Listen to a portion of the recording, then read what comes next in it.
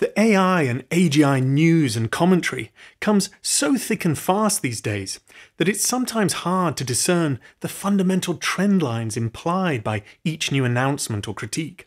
And I'm saying that as somebody with a PhD in AI.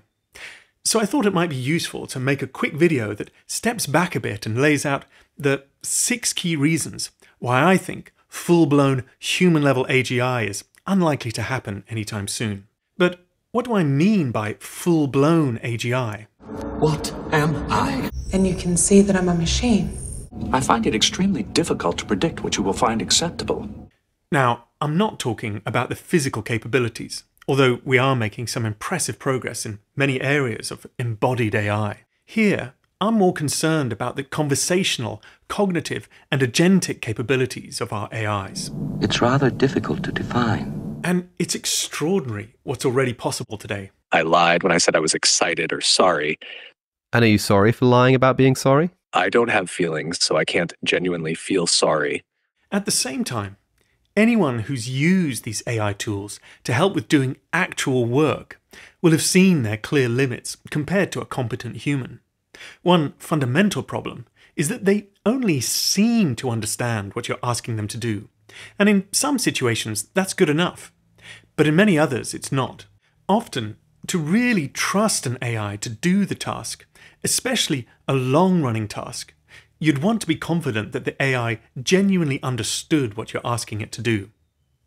And while it's relatively easy to see how these AI tools will get better at answering well framed questions by using collections of systems to help with improved calculative reasoning and to fact check their answers against references, it's not at all clear how to develop AIs that can have novel insights on how best to frame the questions in the first place. As any top scientist will tell you, that that's the hardest part of science is actually asking the right question, and that's not um, something our systems, well, we have really have any idea how our systems could do. So yes, AI tools have a useful level of general intelligence today, but they are still quite away from human level AGI. And the following are the six key reasons that I don't think we're going to get there anytime soon.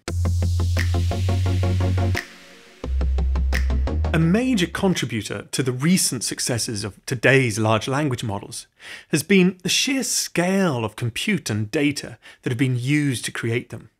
And continuing this trend of scaling is seen by many as a necessary component of how we're going to get to AGI. Even if more of the data will have to be synthetic data going forwards, the scale of compute used to train the latest multimodal foundation models is expected to grow by orders of magnitude roughly every few years. Uh, So now a model would cost what, 100 million? Uh, right now, 100 million. There are models in training today that are more like a billion. Right. Um, I think if we go to 10 or 100 billion, and I think that will happen in 2025, 2026. I think it's likely enough that it will keep going, that it is worth investing the um, tens or you know 100 billion plus in building the infrastructure. And these data centers are going to require huge amounts of energy to power them and water to cool them.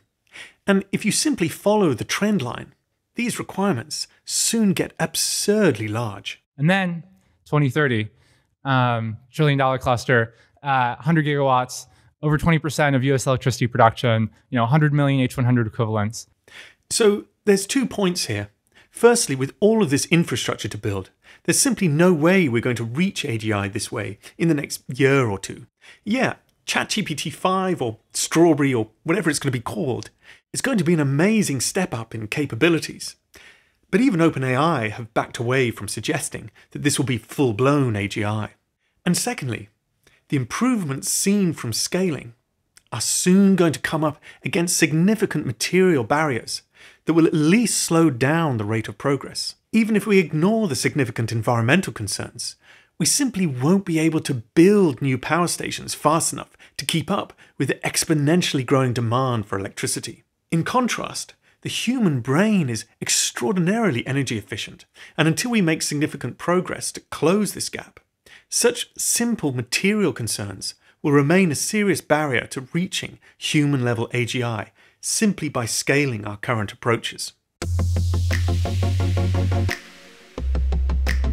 Then, something that I haven't seen nearly enough people talking about is the difference between the training phase and the inference phase of most of today's mass deployed AI systems.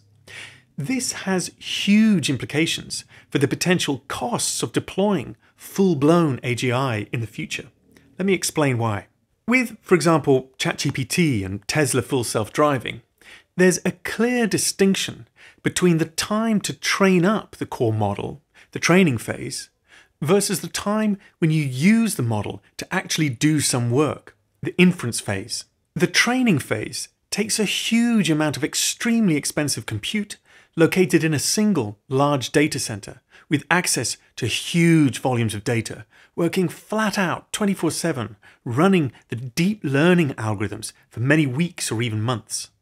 The output of all this work is a huge trained foundation model, which nowadays is often then shrunk down to a smaller size model before being duplicated millions of times and deployed into customer facing data centers across the world in the case of ChatGPT, or directly onto millions of cars in the case of Tesla FSD.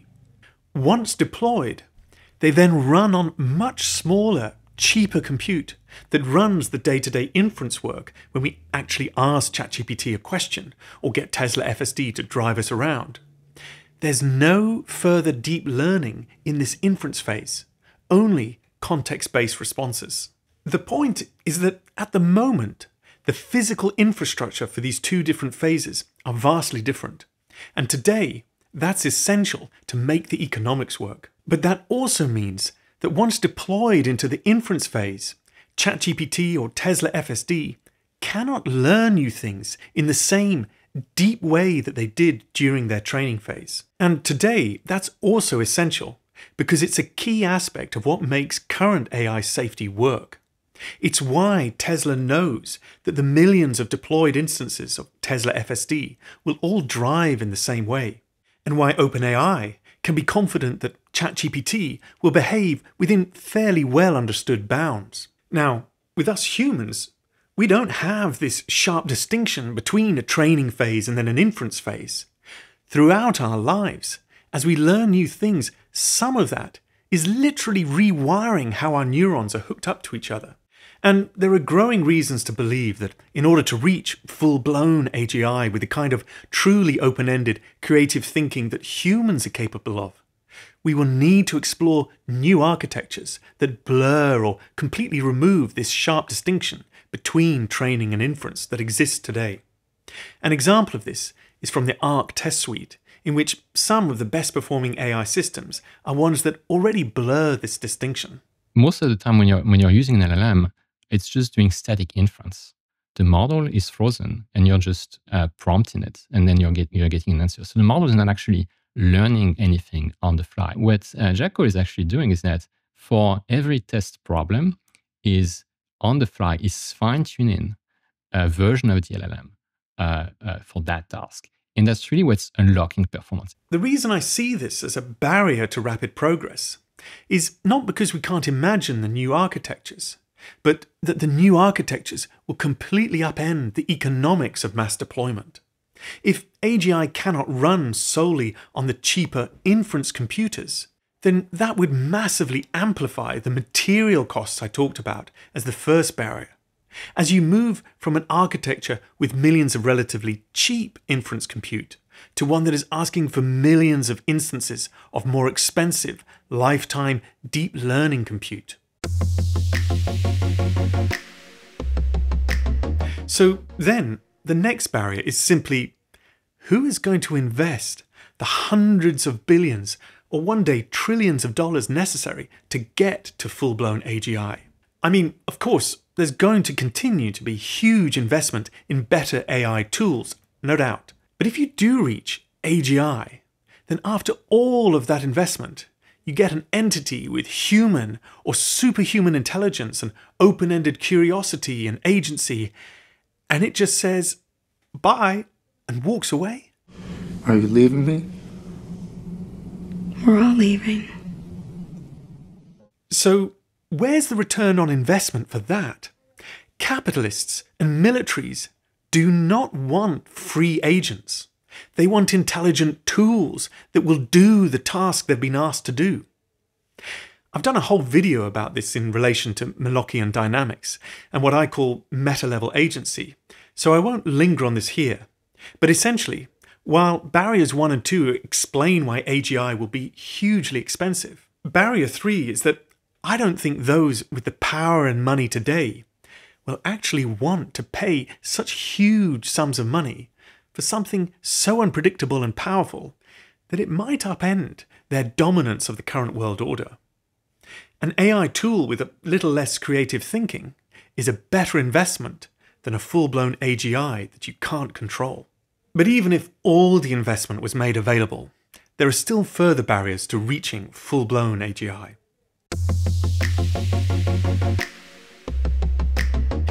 So, Elon Musk is a controversial figure to say the least, but he said something recently that was quite interesting, which was that Tesla FSD is now so good at driving that they're finding it hard to compare which of any two models is the better model.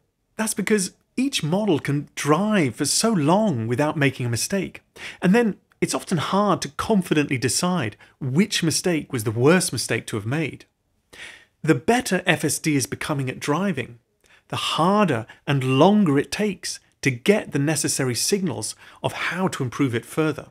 And more generally, it is clear that long running, multi step tasks are precisely where the current generation of AI tools are failing to be reliably useful. For example, they're great at generating or correcting simple code snippets, but they're not yet regularly successful at completing larger software development tasks all by themselves.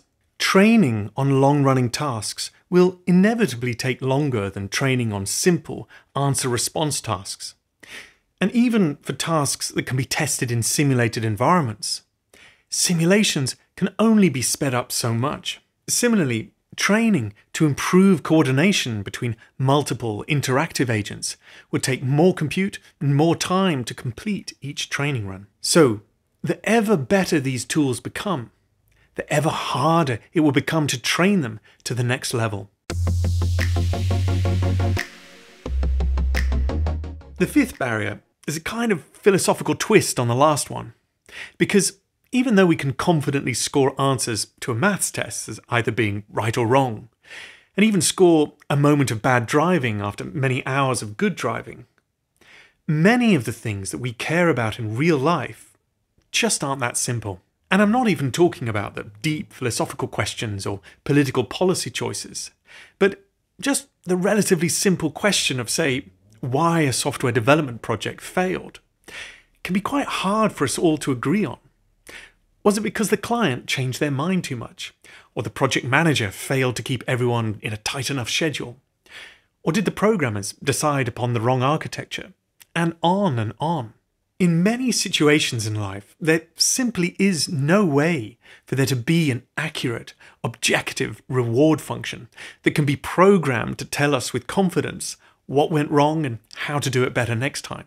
Life is complex and messy, and when things do go wrong, there are often multiple, valid perspectives on what lessons to learn, and so we have to use our lifetime of experience to make our own judgment calls. It therefore seems philosophically naive if anyone were to suggest that we're now going to build an algorithmic, objective reward function with which to train AGIs to do these kinds of long running, real world tasks that currently depend on skilled, experienced judgments. So, the key point of barriers 4 and 5 is that all of our amazing progress to date with AI systems has largely been built on the idea of constructing fast, algorithmic reward functions that can be used to train the AI systems to do the right thing. And that's been fine to get to, say, 80% of AGI. But we have reasons to think that the last 20% will require a different approach that probably hasn't even been invented yet, and that will likely take longer to train than the fast reward functions that we've been using so far. And yes, this goes against the exponential narrative, but it's also well known that many seemingly exponential processes turn out to be S-curves that tail off at some point as some previously unknown limiting factor makes the last parts of the task increasingly hard to complete. The last barrier is something altogether different. We already live in a world with 8 billion human level free agents, all trying to live a decent life. And one of the most contentious political issues at the moment is immigration. People within prosperous countries worry that if more people arrive into the same space, then there'll be fewer resources and work opportunities for those already in the country. And now venture capitalists want to bring into the same spaces a compliant workforce of millions of robots. Of course, this analogy is far from perfect, but there's no doubt that the arrival of highly advanced AI is going to have huge political consequences. Now, if we get specialized self driving cars that can make it cheaper and safer for your elderly granny to get around town, or specialized factory robots that make products even cheaper to buy, then you can just about see how these AI tools could be accepted into society as a net benefit. Of course, there's still going to be huge political economic consequences of such a high level of automation. But with things like maybe UBI or something similar, it feels plausible to me that our political economy could adapt to having ever higher levels of skilled, generalized AI tools, helping with our needs. But if we actually develop full blown human level AGI with human levels of agency and open ended curiosity and lifetime learning, then it's easy to see the political calculus changing irrespective of whether the philosophers say that such sophisticated entities do or don't have conscious experience or do or don't have moral rights, I think it will quickly become politically impossible to treat such entities as owned property. And if they do have human level agency and intelligence, then it's easy to imagine that such entities will themselves publicly make the case for their right to be free and to have rights to own property and resources with which to sustain and maintain themselves. Genuine, full blown AGIs will have needs of their own. And of course, this is sci fi land. But in some sense, that's exactly the territory we'll be in if we do indeed reach human level AGI. And that's exactly what those striving for superintelligence are expecting to happen someday soon. But it's a repeating theme here that there's a sharp distinction between building useful AI tools versus building genuinely human level AGI agents. Capitalists want tools, militaries want tools. And I think for the moment, the voting public will also only accept AI tools. And so they'll all push for regulatory barriers to prevent human level AGI. But none of this is meant to suggest that there aren't going to be huge consequences from the AI tools that are already being built now. So, in this next video, I explore a range of plausible scenarios for what I think could realistically happen in the next five years or so, with or without AGI. But what did you think of the six barriers I presented here? What's missing? Please do continue the discussion in the comments below and subscribe for more videos like this. Thank you for watching.